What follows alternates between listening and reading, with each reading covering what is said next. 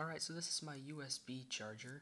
Sorry about the poor video quality. Any of the good videos I've taken, I normally take with my Nano, but I need it for this demonstration.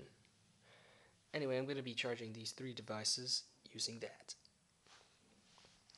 First up is the phone. And just plug it in. Battery's already in.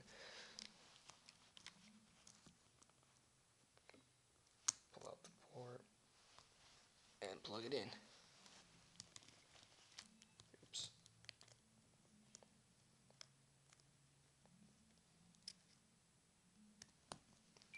There we go. Not sure if it shows on the camera. Oh, it's already fully charged. Oh no, look, there it goes. So there's my phone. Hold on a sec.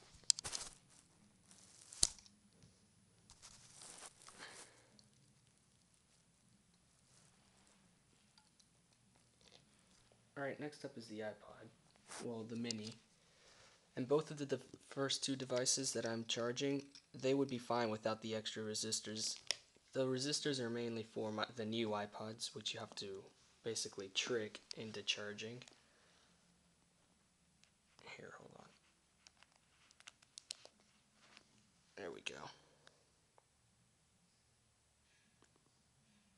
See?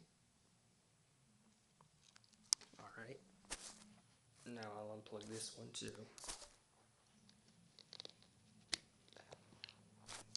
There we go. Alright, and finally, my Nano. Take the cord.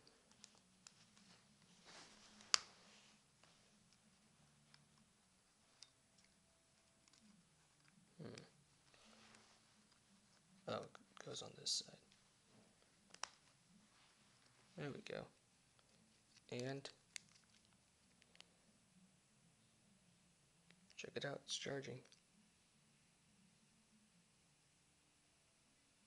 Well, there you have it. Battery USB charger. It'll accept anything as an input voltage from 7 or maybe 6 volts to about 18. So you can play around with that.